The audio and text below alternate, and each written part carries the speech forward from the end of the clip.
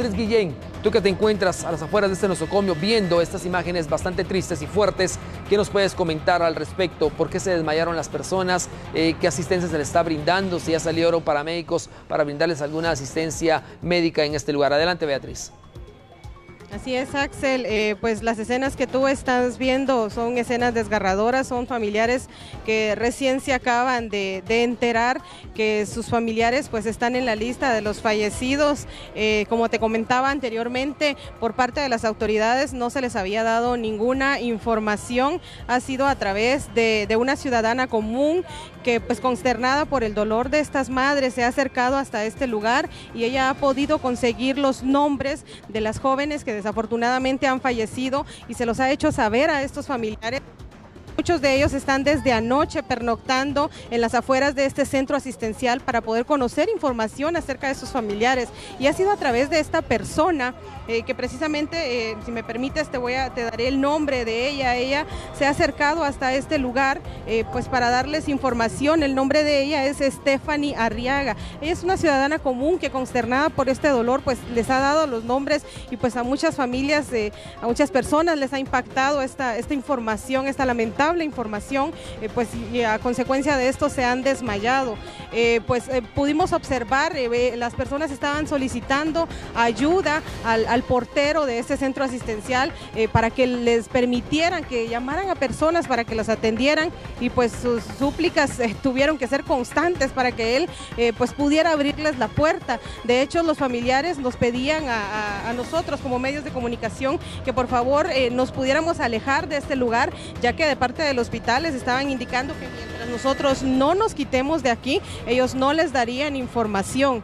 Y por eso algunos familiares se acercaron y nos solicitaban por favor que pudiéramos movernos de este lugar para ellos obtener información por parte de las autoridades, ya que como te digo, ellos que mientras nosotros no nos quitemos de aquí, pues ellos no les darían mayor información.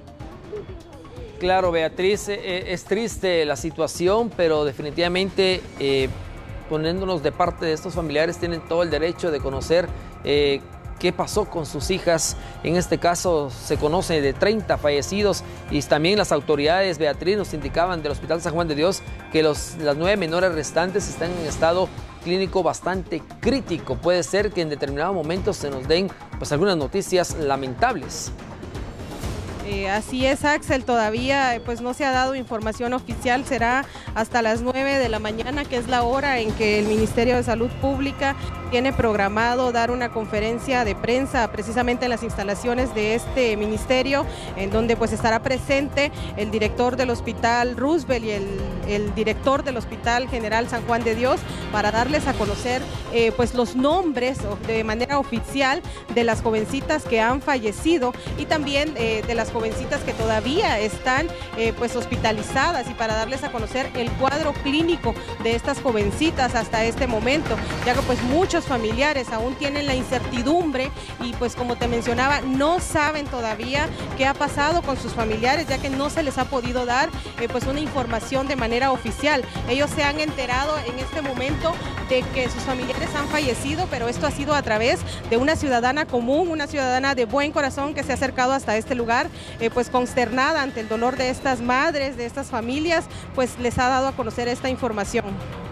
Beatriz, eh, tomando en cuenta la situación, eh, sabemos que es bastante dura y triste, pero tú has tenido acceso a hablar con algunos de estos familiares quienes también sufrieron desmayos para conocer eh, qué es lo que pasaba en ese momento, cuál es el panorama que se está viviendo en este, en este lugar, si se siguen enterando más personas de los nombres de las personas que figuran en el estado de fallecidos.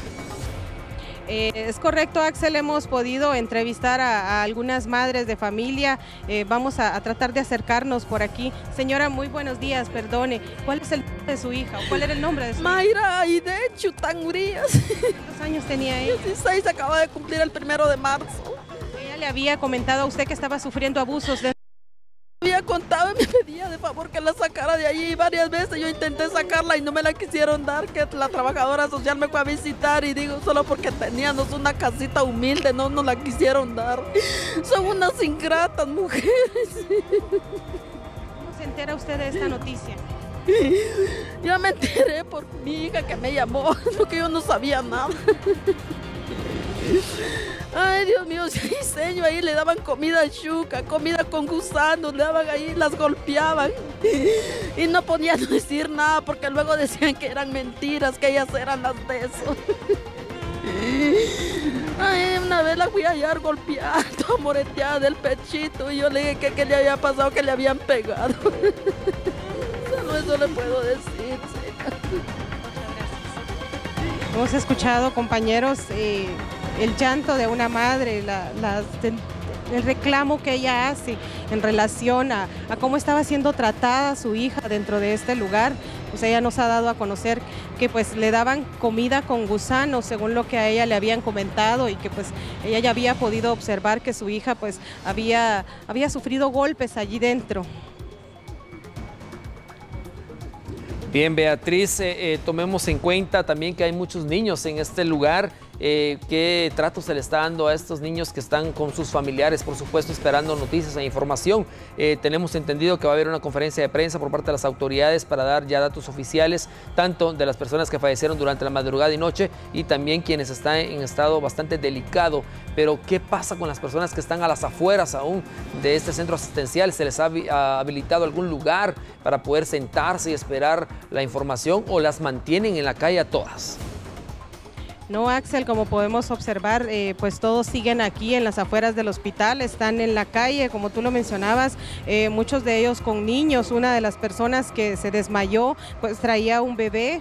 Es eh, precisamente el bebé que podemos ver aquí enfrente, pues que una persona tuvo que, hacerse cargo de él porque pues su mamá se desmayó, ella ya fue ingresada al hospital, pero ellos siguen aquí en las afueras del hospital. Todavía, como te mencionaba, inclusive los habían condicionado indicándoles que mientras los medios de comunicación no se quitaran de aquí, no les darían a conocer ninguna información, que era cuando ellos se nos habían acercado y nos habían pedido de favor si nos podíamos quitar un momento para que ellos pudieran darles la información, pero de lo contrario, Axel, todos siguen aquí en la calle, muchos de ellos eh, pues han pernoctado en este lugar y pues siguen aquí a la espera de información oficial, Axel.